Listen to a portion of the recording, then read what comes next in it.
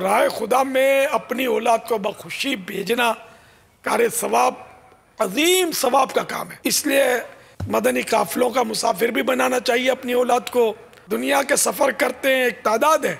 जो दुनिया का सफ़र करती है, कोई चोरी छुपे, जापान में घुस गया, कोई यूरोप में घुस गया, कोई इधर घुस घुस जाते हैं ना। फिर इनके माँ बाप रोते हैं।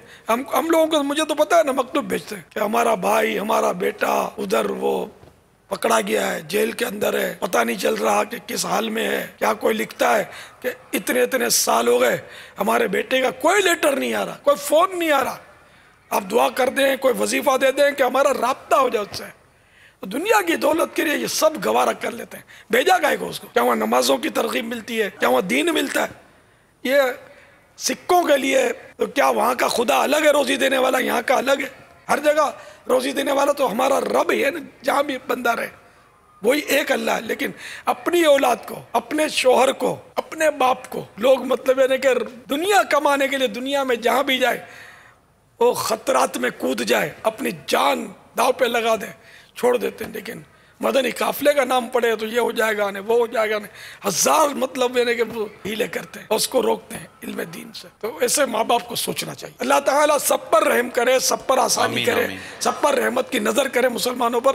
मैं सिर्फ़ समझा रहा हूँ कि जब दुनिया के लिए छोड़ने वाले इतनी मतलब यानी कि इतने दिले हैं तो अब अल्लाह की राह में भेजने के लिए यार इतने तंग दिल बनते।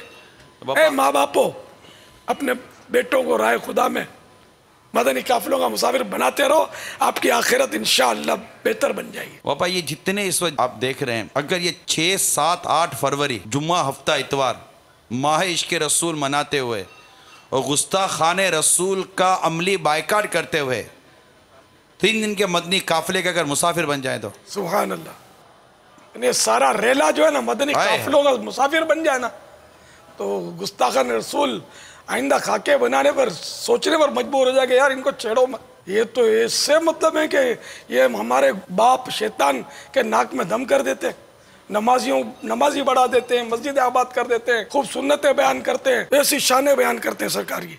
सल्लल्लाहु अलैहि वसल्लम छोड़ो यार फिर ये बोलेंगे खाका नहीं बनाना है हमको। हम गुस्ताखान रसूल से। बेजार है, बेजार है। हम गुस्ताखान रसूल से। बेजार है बेजार